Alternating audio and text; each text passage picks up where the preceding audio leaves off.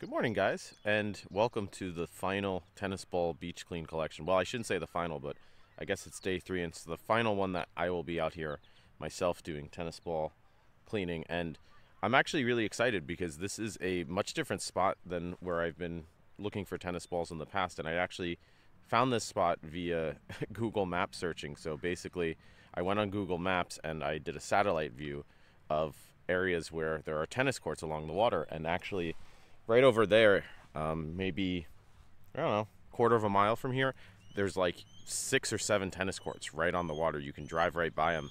And actually, on the way out to this beach park, I saw a thousand tennis balls on this court. It looked like I don't know, maybe hundreds, where people were just playing tennis. And my theory was a certain amount of those balls are going to go over the fence over the years, wind up in this harbory area, and then just sort of settle and collect over time. And lo and behold, already you can see there's old, very degraded tennis balls all around me. Uh, This is crazy. I, I you know, sometimes I think that I'm nuts for thinking that I'm going to find this stuff out here, but then I do, and it's like, okay, that confirms kind of that you can kind of piece together some of this uh, theory just based on observation and and work over time. So, um, I assume the tide carries this pretty far down this harbor, so I'm gonna walk along a little bit and see how many we can collect today because the previous tennis ball beach clean collections of day one and two, I think day one was 180 I collected, and that was an area near a dog park where I think people toss tennis balls to their dogs, and uh, those get lost over time. And then the second one, I got almost 200 tennis balls in one beach clean, and that was right along some cliffs with the tennis court. So I would imagine here that there's going to be a ton as well because I don't, I didn't even know of this spot as a potential tennis ball beach cleanup area. And there's other trash, of course. There's always trash, so I'll pick up some of that maybe to talk about at the end as well. But lots of tennis balls already, so I I'm almost disturbed that my instincts were correct with this. But yeah, let's uh do uh picking. It's a beautiful day, a little cloudy, but not very windy and like 70 degrees. It's it's perfect temperature. So yeah, enjoy the sights. Come walk a little, enjoy some nature, and get trashed along the way as always.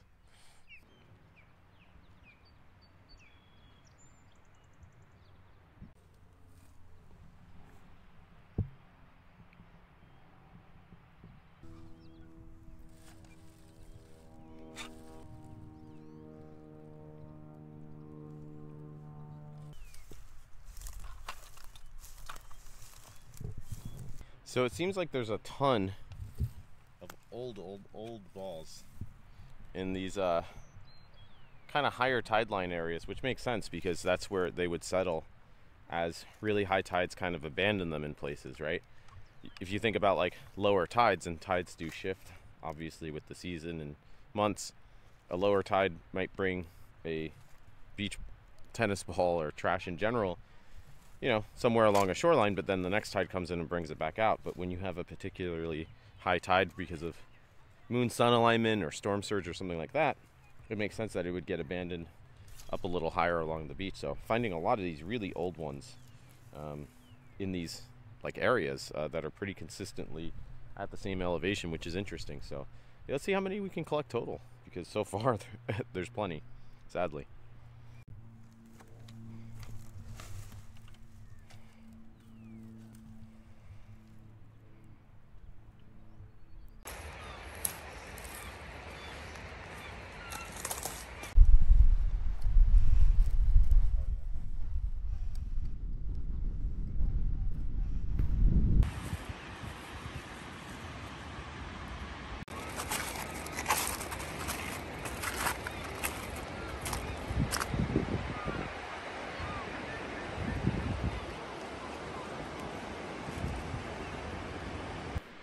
You'll notice that we ended on the more oceany side of this harbor because that's where this all started was at the ocean and me just walking down the beach and finding tennis balls and wondering, hey, what the heck's going on with all of that, right?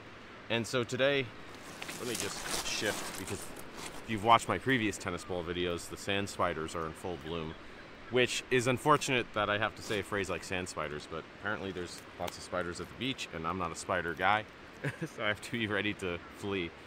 Um, but yeah, anyways, like I was saying, that's how this all started. Obviously, uh, you go back and you watch the previous couple of days of the recycling tennis ball challenge, you know, you, you'll see I found many more, and people have been pretty amazed and stumped at the fact that I've been able to find hundreds of tennis balls in just a few days beach clean. Uh, like I said, the first day I think it was about 180, the second day almost 200, and today I count I got about 45, which comparatively doesn't seem like a lot, right?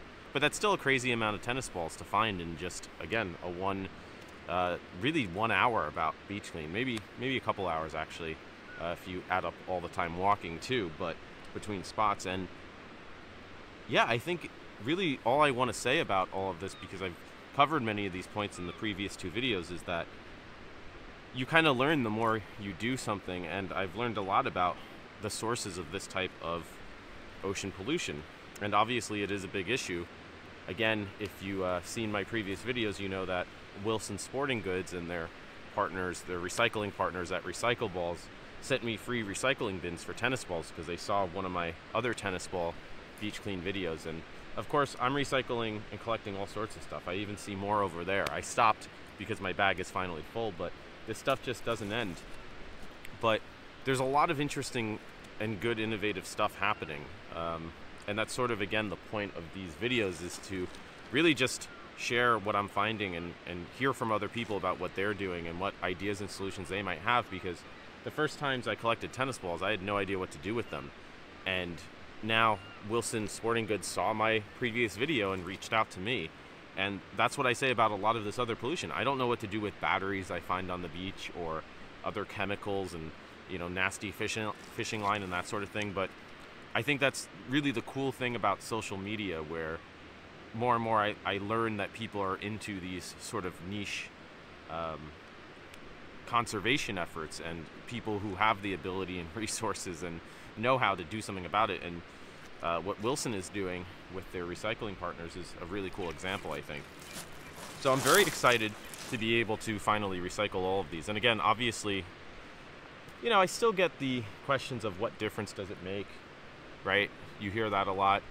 What really is the difference in the end because there are such larger environmental issues. But if you think of it that way, I think that sort of stalls out any progress that we can otherwise make. And obviously, even recycling all of these balls or recycling tennis balls in the end isn't maybe the end all be all, right? Um, the company that is going to recycle these uses the felt for like horse footing, I think, and the rubber to make new tennis courts. And again, that's a good step in a in a more sustainable direction because they're not sourcing new materials while this stuff is just clogging up marine habitats, right? And dying in landfills. But I know they're also sort of working on more eco-friendly materials too for the balls themselves. So all of this is part of pushing us maybe in a better direction and there's something to be said I think for cr- the idea of critical mass, right? And having enough collective awareness where we sort of suddenly together realize that oh maybe there are better ways of doing things and that's really kind of the goal and kind of the point and purpose here so um, yeah, same thing here today. All manner of level of degradation. Brand new balls, balls that have been degraded pretty much beyond recognition. If you weren't watching this video, you probably wouldn't know that this is most definitely the rubber core of a tennis ball, but it is. And I know that because you can see the process of degradation, right? Where this still has some of the felt on it. So really interesting experience over the past few weeks, I know. I appreciate many of you sticking with these videos for those of you who maybe aren't as interested in tennis balls because obviously I beach clean lots of other stuff year round if you have been following my other videos. But hey, when the uh, iron is hot, strike strike the iron when it's hot. I don't know the phrase, but if uh, a big company like Wilson is reaching out to you to support, uh, why not take advantage of it, right? And that's going to be the conclusion of this tennis ball cleanup this weekend, I think, after this video posts, I'm going to do one more video where I've basically put out a, an announcement for an event where I'm just going to be at the beach with my recycle bins, and I'm encouraging anybody over the next week or so to, as they beach clean and find tennis balls, stop by. I'll be there most of the afternoon next Saturday and have them uh, contribute what they can because I'm sure the Wilson people and the recycle balls people will send me more bins if I had more balls. and interestingly, I'll include a picture of the recycle bins here. I think it holds several hundred, and I'm going to need more, which is really cool, probably. Um, so I, I, think, again, that's just moving the conversation in, in a better direction because I think part of the problem is people often feel so helpless with being able to do anything. And it's because not one of one of us alone doesn't necessarily have all the answers or solutions, but this is the cool thing about sharing these stories and talking about what more we can do together. And yeah, that's really what I've I guess sort of learned through all of this tennis ball beach cleaning. And like I said at the beginning of the video, on the inside part of this harbor, a lot more tennis balls at those high tide lines in the harbor, where obviously, you know, tennis balls are kind of relatively heavy compared to other plastic pollution. Um, those tennis balls settle at high tide. And here on the ocean side, didn't find a ton walking down about the same distance. I found maybe three or four, which I assume rather than from the tennis courts on the inside of the harbor are probably more likely from people playing fetch with their dog, like I said. So those are really the two main sources of tennis ball pollution from my experience. And what can we do about that? That's a, another good question. And again, I'm not like proselytizing to get rid of tennis balls or, um, you know, shaming people into doing anything different. But this is, you know, how we talk about issues and maybe come up with different solutions or alternatives and that sort of thing. And that's what we're going to keep doing with other trash throughout the year. So, yes, uh, shout out again. Thanks to uh, Wilson and Recycle Balls. I'll have that final video. Uh, I don't know if that will be my next beach clean video after this one because I kind of want to get back to regular beach clean stuff. And there's so many other ideas I have for beach cleaning, so I want to talk about those other items. But uh, we will get back to regular beach clean adventures, and there's some wacky ideas coming up, like I've said previously. I mean, we're going to be going cross across the country trash cleaning this summer because I've clearly completely snapped and lost my mind. So that, among other crazy adventure ideas, is coming up soon. So, anyways, if you like this stuff, um, please subscribe. Uh, it helps to again expose this to more people. I the, Wilson would have never found out that I was doing this stuff if people hadn't shared my videos. So I appreciate the, the, all of you guys who watch and subscribe and share and all that stuff because it does make a difference. Now, this is all getting recycled. It's helping their efforts, which is leading to other bigger changes, ideally down the road. So, yeah, keep that in mind. Little changes add up to big ones over time. I know other beach cleaners I talk to often struggle with that fact of, well, I clean the beach one day, I come back the next day, it's just as trashed, if not more. What's the difference? And that is the difference, is that you are in those local habitats making a difference and certainly contributing to the larger again conversations and changes that we need. So yeah, again, thanks so much for watching, supporting all that good stuff, and enjoying nature. I mean, come on, this is beautiful. I can't wait to be in here swimming again, and it's coming soon. So uh, I'm gonna again do wacky things. I have so many crazy ideas for this summer. Going across country, diving for beach trash. Uh, like there's unfortunately endless ideas, and some of them don't work out. But that's part of the point. Like you, you kind of learn more and, and learn where this stuff is and why it is where it is just by trial and error. So come experience with me and uh, learn from my trial and error. So maybe you can emulate what does work on your own. But yeah, once again, uh, I can't. I, I know I keep saying it, but I can't thank you guys enough. And uh, we'll be back soon with new trash. And uh, until then, stay well out there, clean well, be well, and hope to see you guys on the beach soon.